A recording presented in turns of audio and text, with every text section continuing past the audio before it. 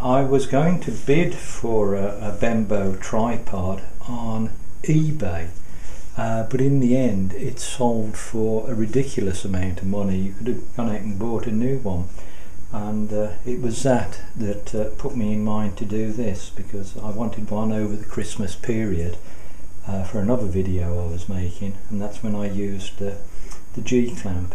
So um, there you go. That's cost me nothing other than a little scratch on the back of my hand.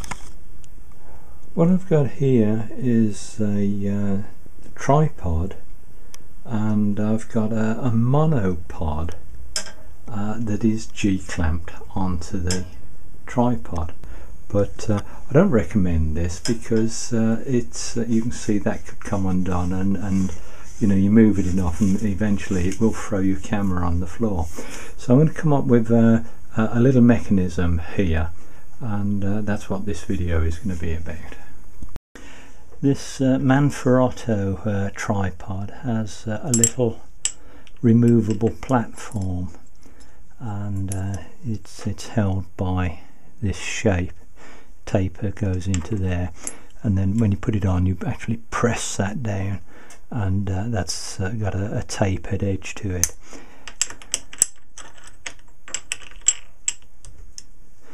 And that locks. It's a, it's a very firm platform. Uh, but what I'm going to do, I need to replace the cork there. What I'm going to do is I'm going to make uh, a section that looks like this and then I'm going to drill and tap it and arrange to hold the monopod over it. Uh, I did think about drilling and tapping this but uh, I don't want to do that. I I haven't got a block of aluminium uh, the thickness that I want uh, but I've got this material. This is uh, what's called carp. It's uh, made up of hundreds of layers of um, uh, uh, linen resin bonded together. So it's very very tough. It, it's still a laminated material but I think it'll be fit for purpose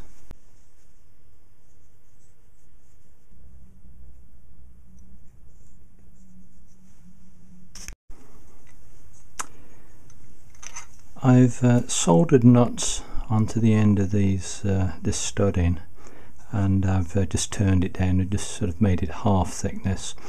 And I drilled a hole a um, bit smaller than the nut and uh, forced it in to stop it from turning. And then uh, I've put a little uh, half moon, a little mouse hole in there to go onto the the shaft there just give it a, a little bit of location. So I'm just going to cut these off now. This is the finished item. I had intended uh, just to use the clamp on the middle section of the monopod here and uh, by happy chance it's all just worked out that I've got enough space in available to be able to use uh, the clamp on the widest part of the uh, the monopod uh, so that's uh, really useful.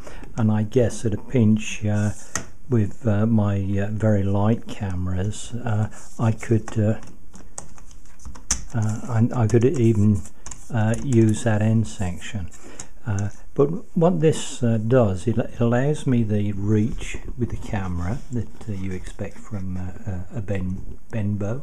But I've also got the option to extend the monopod and hang uh, a counterbalance on it if I needed it. But, uh, I certainly don't need it with uh, this camera, but I've got all of the normal functions uh, that uh, one would hope to get, I suppose.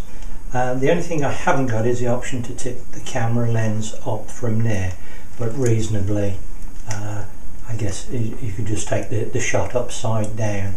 Um, so uh, and, and, then correct it later. Uh, so I'm really very pleased with that. Um, I think that'll take uh, quite a weight and obviously this, this tripod will come up um, but uh, uh, I think that's uh, that's been a worthwhile exercise.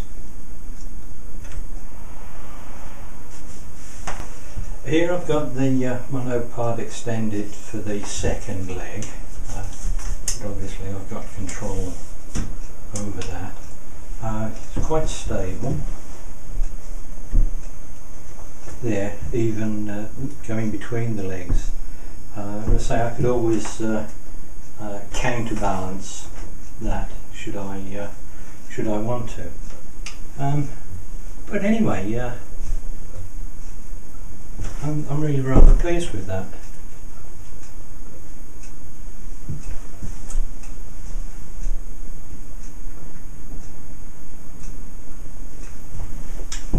Of course, it just unclips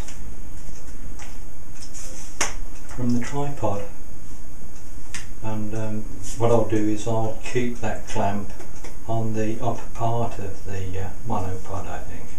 What I like about this is that it's a simple addition which uh, doesn't detract from either the um, uh, the Manfrotto tripod or the Velbon um, monopod. Both of them were uh, exactly as they worked before.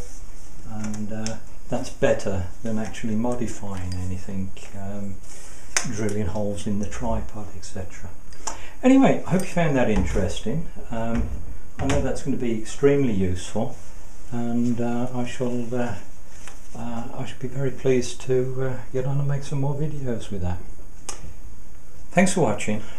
Bye bye